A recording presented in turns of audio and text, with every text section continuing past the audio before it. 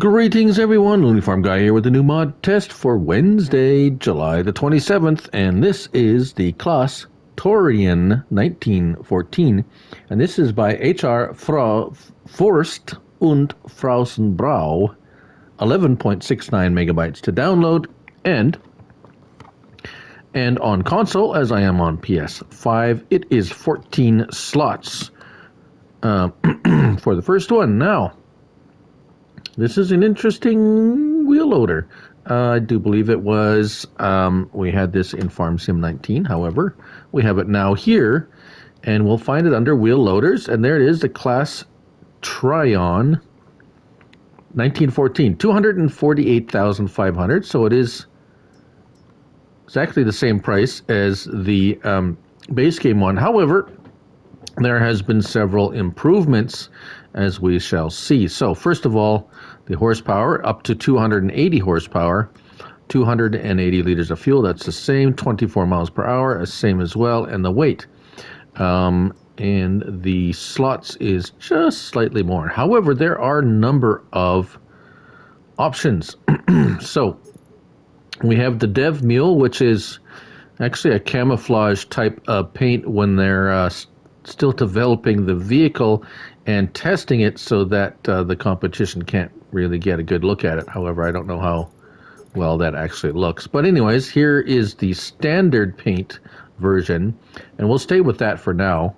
Um, $6,800 for that um, crazy black and white uh, pattern. Uh, wheel brands, Trelleborg, Michelin, Continental, Midas, BKT, Vredestein, Nokian, and Olofsfors um, and then back to Trelleborg. In Trelleborg, we have wide and super duper wide, and then back to standard. Michelin, uh, same super duper wide tires. Continental, just a slightly wider. Midas, again, all the all the tires. BKT, oops, BKT, we have just slightly wider. Vredestein, no choice. Nokian, the Ground King and the Tractor King, and then the uh, com- uh, com- commercial type. And Olofsfors is just that, like so. So let's keep those on there for now because it has a color option. Window tinting, yes or no? Extra 250 bucks for that. We'll leave that off in a, because we'll show you in a minute. Beacon lights, yes or no, and then there's a several choices. Front fenders, you have them or you don't. 250 bucks to take them off. Hmm. Engine setup, you have the 1914 and the Stage 1, which gives you 280 horsepower. Uh, lettering background color. Now that is, ah, yes the color of the background behind the lettering on the back. So you don't get that if uh, you have the development uh, camo on there. Seat color, we'll make it bright green so you can see it. Main color, now you have every color you would care to have, and that is, uh, well, as you can see, not the cab. Uh, let's make it white. There you go. And then you have cabin color, which we can make that. We'll make that uh, pink as well. There you go. Or we'll make it, oh, I don't know, red. Yes, red. And the, the Olofsfors color, we can make that uh, orange. Yeah, orange. Why not? And then, of course, the rim color, let's make that something goofy like, I don't know, blue? That's not really goofy. But anyways, and then your license plate. So, right. Oh, okay. Let's uh, let's hop in. Start up. As you can see, the lights are very well lit. Beacons up there. Uh, signals. Yes, left and right signals. Signals in the front. Now let's get our help window on because we're going to need it now, as you can see, there's a little one above the uh, tractor there right now. And that is because that is your operation of your bucket and everything. So, so like L1, uh, that is L1 and right stick, like so, left and right, up and down. R1, nothing, honk. Oh, nothing strange about the horn. L1 and R1, mm, that's pretty much basic. So, let's hop inside here, just take take a look around. Mirrors are very nice. Yes, they, they actually do work, which is nice.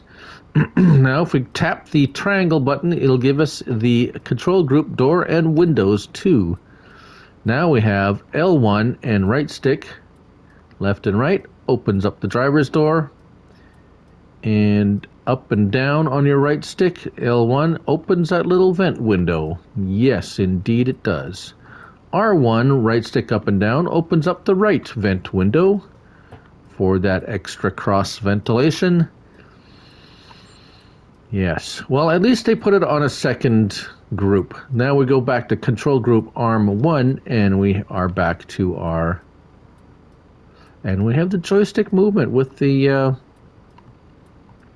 with the front loader going up and down. That's just pretty nice. All right, so back out of there. Here we have an example with a very large bucket 6,000 liter bucket and we're just going to uh, grab some silage we have on the ground here.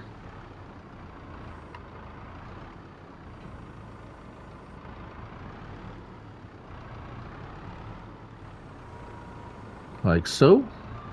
And this is the wide tires, as you can see.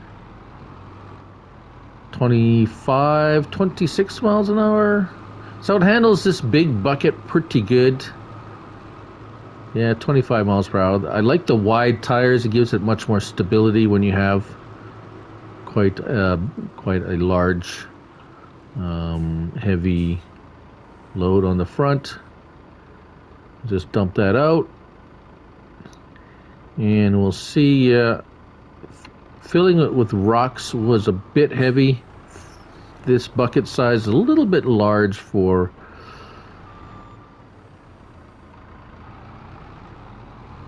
for that much rocks.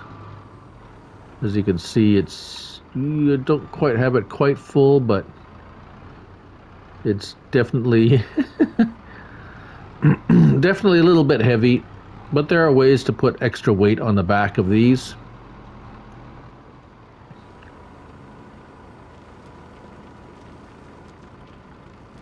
But um, all in all, turns the response is nice. It, uh, yeah, it's a nice uh, loader. And there it is. That's the Claas Torion 1914 by H.R. Forst und Frausenbrau. Um, 11.69 megabytes to download, and 14 slots on console. I'm Looney Farm Guy, and remember, it's only a game.